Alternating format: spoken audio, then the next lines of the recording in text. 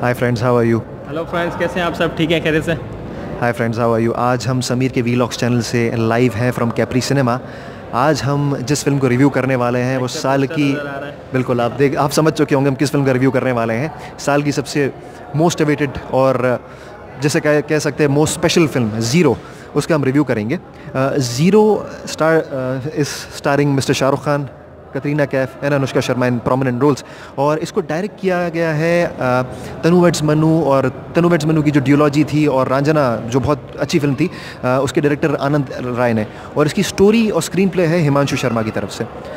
Film का हम आपको एक ओवरव्यू दे दें। हम स्पॉइलर इसका नहीं देंगे ना स्टोरी आपको रिवील देंगे। हम डायरेक्ट रिव्यू की तरफ़ आने की कोशिश करेंगे। अ, फ़िल्म जो है ज़ीरो इसकी हम थोड़ी पॉजिटिव पॉइंट्स की तरफ़ पहले आते हैं। अ, फ़िल्म का जो सबसे स्ट्रॉगेस्ट एस्पेक्ट है वो इसके वीएफएक्स इस फ़िल्म के जो वीएफएक्स है इसकी जो विजुअल इफेक्ट्स है इट्स एक्स्ट्रॉडनरी मुझे नहीं लगता शाहरुख की जो प्रीवियस फ़िल्में रही हैं उस पर वी और विजुअल इफेक्ट्स इतने अच्छे आज तक कभी रहे हों। इट्स इट्स एक्स्ट्रॉर्डनरी शाहरुख को एज अ ड्वाफ जो दिखाया गया है एज अ बोना दिखाया गया है इट्स माइंड ब्लोइंग मतलब आपको लगेगा ही नहीं कि शाहरुख इस इस रियली मतलब उसकी आपकी हाइट आपको लगेगा नहीं कि उसकी हाइट नॉर्मल में फाइव सेवन फाइव एट है। नहीं वो आपको एक छोटा सा चाहूँगा इसमें कि अगर आप थोड़ी देर के लिए ये भूल जाएँ कि ये शाहरुख खान है तो आप उनको पहचान नहीं पाएँगे कि ये एक मतलब आपको लगेगा कि रियल बोना है। Exactly. अगर आप उनको मतलब ना पहचाने कि यार ये शाहरुख था कि मेथड एक्टर सामने आ गया है। मतलब हम पहले कहते थे यार कि मेथड एक्टिंग की कमी है शाहरुख वही पुराने रिपीटेड रोल करता है लेकिन नहीं इस बार मैं कहूँगा कि शाहरुख खान ने एक एक एज अ मेथड एक्टर पूरी कोशिश की है अप, अपना पूरा बेस्ट देने की। तो आ, मुझे बहुत उनकी अच्छी परफॉर्मेंस लगी इस हवाले से और विजुअल इफेक्ट्स की जहाँ तक बात है तो विजुअल इफेक्ट्स तो एक्स्ट्रॉर्डनरी है। मतलब आप you will be spellbound by the visual effects फिर दूसरी चीज़ मैं जिस पे आना चाहूँगा एक्टिंग पे। एक्टिंग शाहरुख खान की जैसे मैंने कहा काफ़ी अच्छी थी। अनुष्का शर्मा वॉज़ ओके मतलब कुछ ज़्यादा अच्छी नहीं थी, कुछ ज़्यादा बुरी नहीं थी। उनका जो रोल था मुझे, उनका रोल देख के मुझे अगर आपको याद हो, एक फ़िल्म आई थी मार्केट मार्गेटा विद स्ट्रॉ, जिसमें काल्की कोलचिन को सेरिब्रल पॉलिसी था, जिस वजह से वो ना सही तरह बोल पाती थी और पेरीप्लेजिक टाइप की थी थोड़ी तो वो वो व्हील चेयर बाउंड थी। तो इनका रोल भी थोड़ा ऐसा ही सिमिलर है। तो इट वॉज़ काफ़ी लोगों ने इनकी थोड़ी क्रिटिसाइज़ किया गया इनके रोल को but she gave her level best फिर मैं आऊँगा कतरीना कैफ की तरफ़। कतरीना कैफ वॉज़ ओके बहुत अच्छा रोल नहीं था बट शी वॉज़ मतलब जो स्क्रिप्ट जिस तरह की डिज़ाइन की गई थी उसके हिसाब से वो वो सूटेबल थी। तो not really good but not really bad अच्छा अब मैं आऊँगा इसके नेगेटिव एस्पेक्ट्स पे।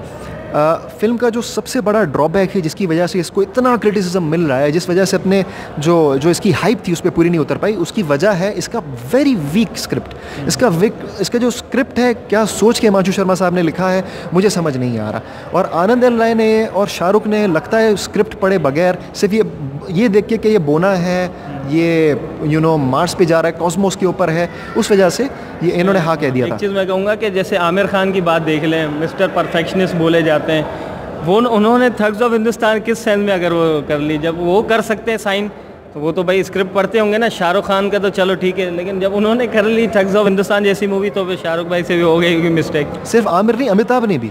आमिर और अमिताभ दोनों ने वो एक तो वो दोनों पहली बार एक फ़िल्म कर रहे हैं और दोनों ने इतना वीक स्क्रिप्ट उन्होंने चूज़ किया तो। नहीं किया डायरेक्टर ने उनको सही। बारह लब ज़ीरो पे। दैट वाज हाँ अब ज़ीरो बाई ज़ीरो की तरफ़ दोबारा से आएँगे तो स्क्रिप्ट वाज वेरी वीक ऐसा लग ही नहीं रहा था कि ये वही वही टीम है।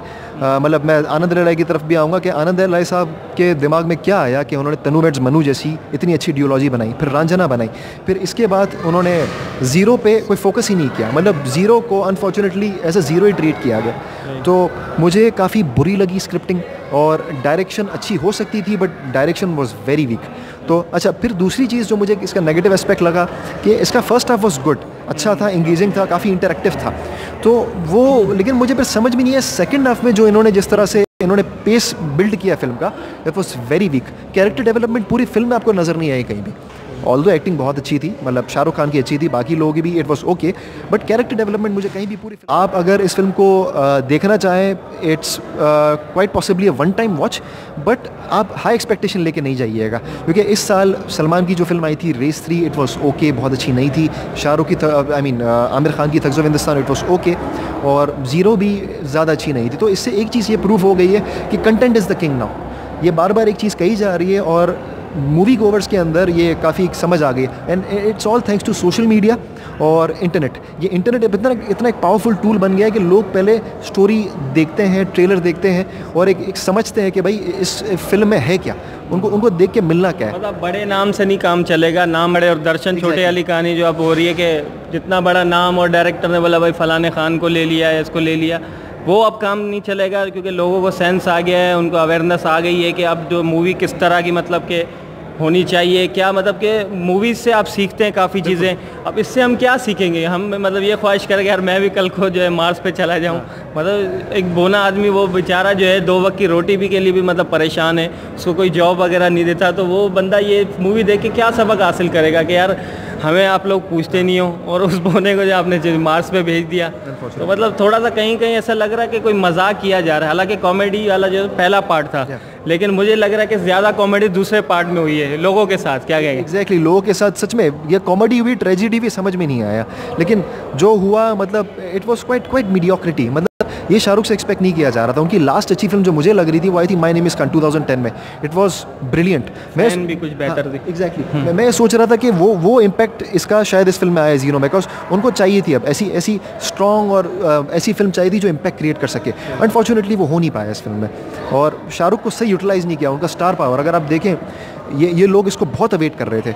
अनफॉर्चुनेटली वो कर नहीं पाई वेरी सॉरी टू से अच्छा सादिक भाई, इसको रेटिंग वगैरह के हवाले से क्या कहेंगे? कितनी रेटिंग देंगे? मैं इसको फाइव में से शाहरुख की एक्टिंग की वजह से मैं थ्री दूँगा बिकॉज़ शाहरुख ने एक्टिंग में जान डाली he gave his level best although इनकी टाइमिंग इनकी इंटेंसिटी वैसी नहीं रह पाई है जो पहले थी मतलब पहले इनका नाम ही काफ़ी होता था। कि क्राउड पुल कर लेगी बिकॉज़ इसका एज सच डायरेक्ट कोई कंपटीशन अभी मुझे नज़र नहीं आ रहा। बाकी है कि शाहरुख खान के आप भी फ़ैन ज़रूर होंगे। डेफिनेटली पच्चीस साल से। ब्लाइंड फॉलोअर्स नहीं हो सकते ना हम कि हम कहेंगे यार नहीं शाहरुख खान की मूवी है फ़ैन है उसके तो भाई पाँच में से पाँच स्टार तो मेरी तरफ़ से भी वैसे थ्री स्टार लेकिन शाहरुख खान की एक्टिंग वजह से मैं थ्री पॉइंट फाइव ज़रूर दूँगा क्योंकि उनकी जो है वो एक्टिंग या एफर्ट्स जो उनकी थी वो नज़र आ रही थी। बाकी तो किंग ऑफ़ बॉलीवुड देखते रहिए समीर के व्लॉग्स